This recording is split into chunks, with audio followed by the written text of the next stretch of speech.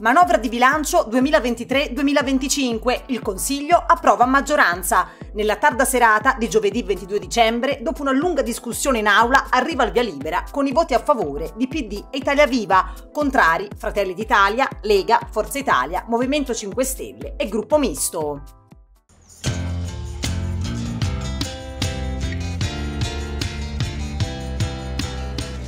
Il Consiglio regionale, al termine di una lunga settimana di confronto, ha approvato a maggioranza la manovra 2023-2025 che comprende bilancio di previsione, la legge di stabilità per il 2023 e collegato e la nota di aggiornamento al documento di economia e finanza. Hanno votato a favore i gruppi del PD ed Italia Viva, contrari invece i gruppi di Fratelli d'Italia, Lega, Forza Italia, Movimento 5 Stelle e Gruppo Misto Toscana Domani. Nel corso delle operazioni di voto sono poi stati approvati anche una serie di emendamenti presentati da Fratelli d'Italia, PD e Gruppo Misto. La legge di stabilità per il 2023 è passata poi a maggioranza. Il bilancio passa con 37 emendamenti a firma del presidente della regione toscana Eugenio Giani. Il maxi emendamento del presidente della giunta è arrivato in aula nel tardo pomeriggio di giovedì, unendo maggioranza e opposizione. Lo ha dichiarato lo stesso governatore a margine dei lavori, quale frutto di un lavoro di concertazione che raccoglie sollecitazioni trasversali e arricchisce le previsioni di intervento di spesa su una serie di settori come il sociale, la cultura e l'ambiente. Un emendamento che raccoglie ciò che sia eh, la maggioranza sia la minoranza hanno proposto rispetto al bilancio così come presentato dalla Giunta. È un maxi emendamento che arricchisce le previsioni eh, di intervento e di spesa della Regione in una serie di settori, soprattutto il sociale, ma anche settori che in qualche modo possano affiancarsi ad essi, la cultura, eh, tanto per fare un esempio, le questioni ambientali. E devo dire che dimostra che il bilancio diventa un atto concertato fra maggioranza e opposizione e quindi il contributo diventa un contributo costruttivo a un lavoro eh, che la maggioranza con molto dialogo e apertura riesce a sviluppare. Il bilancio quest'anno è un bilancio di investimenti, eh, 100 milioni in più nella parte corrente del bilancio a questo dedicati, eh, la definizione di un impatto e di un impegno forte della Regione per la realizzazione con 200 milioni, 195 dell'ospedale di Livorno, eh, lo sviluppo dei lavori di potenziamento a Cisanello a Pisa, eh, la realizzazione della Darsena Nord eh, della cosiddetta Darsena Europa al porto di Livorno che consentirà un pescaggio da 12 a 20 metri, quindi tante più navi potranno attraccare, di interventi che vanno poi in modo più puntuale a coinvolgere il territorio. Io ritengo che sia molto bello che stasera si possa votare con una capacità, diciamo così, di immergere eh, quello che è la proposta della Giunta con contributi importanti che vengono dalla maggioranza del Consiglio regionale e anche dall'opposizione. Sono state giornate lunghe, intense, con un unico obiettivo, cercare di approvare il bilancio per dare risposte alle cittadine e ai cittadini della Toscana. La necessità di non aumentare la tassazione è stato una delle, de, delle, scelte principali di questo bilancio. Eh, le risorse, più di 100 milioni di euro per cofinanziare le, i fondi europei e questo ha ricadute nella vita di ciascuno di noi. Penso per esempio alla possibilità a partire da settembre per, eh, di offrire agli asili nido gratuiti a tutte le famiglie toscane sotto i 35 mila euro di sé, oppure finanziare le tante iniziative imprenditoriali che decidono di investire nel territorio della nostra regione. Un bilancio che pone l'attenzione nelle zone più periferiche. Noi ci siamo posti un obiettivo, un bimbo che nasce nel comune più periferico della Toscana deve avere gli stessi diritti e le stesse opportunità di un bambino che nasce, di una bambina che nasce a Firenze. Ed è quello che facciamo con le risorse per i piccoli comuni, offrendo la possibilità di sostenere eh, le tante iniziative che ci vengono proposte dai territori eh, sotto i 5.000 abitanti. Insomma, un bilancio che pone al centro il tema della salute, eh, della sanità pubblica, della scuola pubblica e che offre opportunità alle cittadine e ai cittadini toscani. Si tratta di una manovra impegnativa perché fa fronte a quelle che sono le esigenze dei territori della comunità toscana con un riferimento anche alla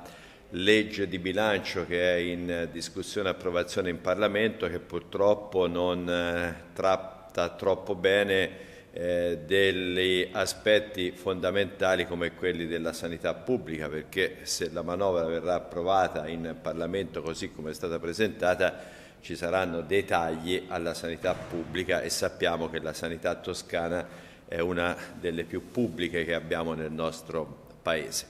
In realtà la manovra che è stata presentata è una manovra che dal punto dei, volumi cresce, siamo quasi a 12 miliardi, eh, anche in virtù di un aspetto molto positivo che sono circa 800 milioni in più che arriveranno dall'Europa per quanto riguarda la programmazione ordinaria, eh, quindi i fondi eh, che riguardano il 21-27. Eh, nonostante le eh, difficoltà che ho detto, l'aumento dei costi dell'energia che si aggiungono a queste eh, difficoltà, eh, non sono previsti aumenti di tasse e questo è un altro aspetto che eh, intendiamo eh, sottolineare. Dopodiché con il nostro emendamento, che, maxi emendamento che abbiamo chiesto al Presidente, abbiamo inteso anche migliorare questa manovra su alcuni aspetti che no, per noi sono fondamentali, eh, perché eh, come abbiamo sempre detto il lavoro, la salute, il sociale, eh, gli investimenti sono le nostre priorità. Un atto importante nel quale Italia Viva è stata protagonista dell'approvazione dell'atto più importante de della Giunta regionale. Il Consiglio approva un bilancio che mette risorse importanti per le infrastrutture scolastiche, per la cultura, per gli invasi, per i comuni, tante questioni che vengono affrontate, asili gratis per i bambini con con, in famiglie fino a 35 mila euro, risorse per famiglie che hanno dei minori disabili, risorse aggiuntive per RSA e RSD, una manovra che è sociale, che è economica, che alla fine si chiude non aumentando le tasse, così come Tel Aviv aveva chiesto, non viene aumentato il bollo, non vengono aumentate le addizionali IRPEF e soprattutto i comuni trovano risposte importanti. Penso a dei comuni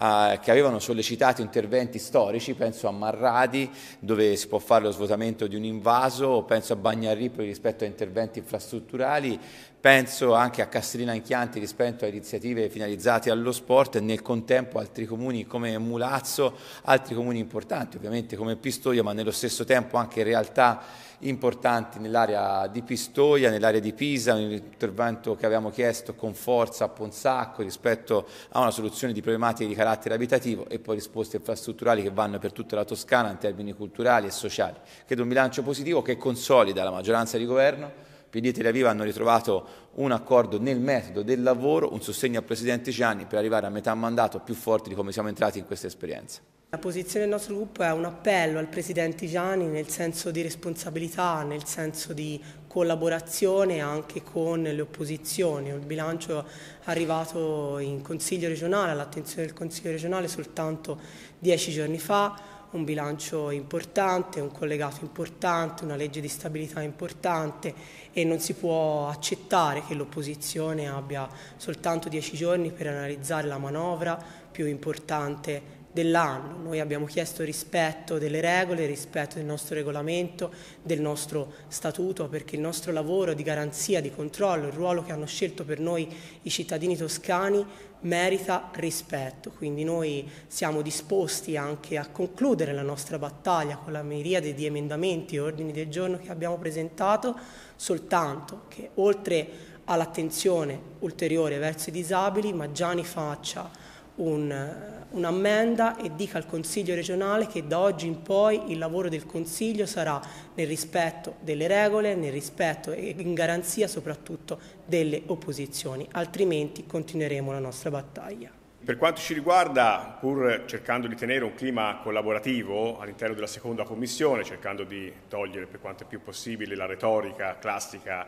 dell'antagonismo opposizione e maggioranza, ci aspettavamo da questa manovra molto più chiarezza, un disegno, una strategia e anche un po' di coraggio. Le materie che sono all'ordine del giorno della seconda commissione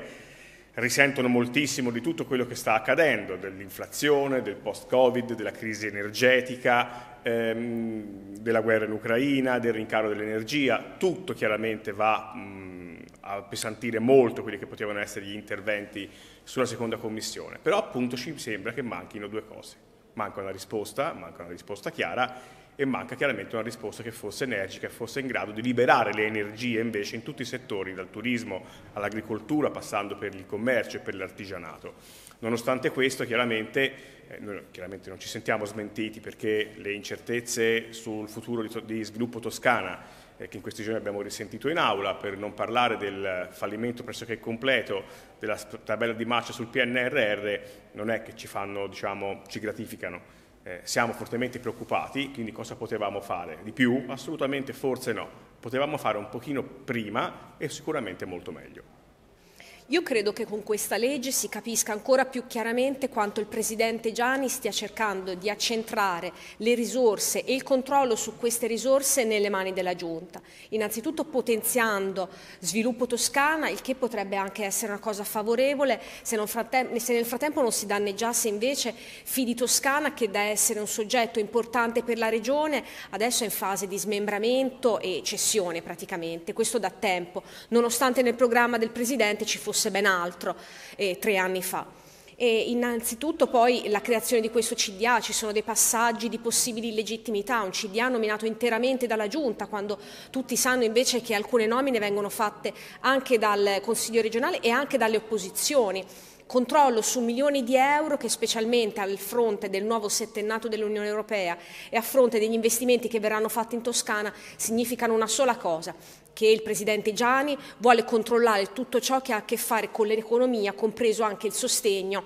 alle categorie economiche. Quindi tutto deve essere nelle sue mani in una sorta di accentramento che è cominciato in realtà già da tempo ma che lui sta rafforzando ancora di più.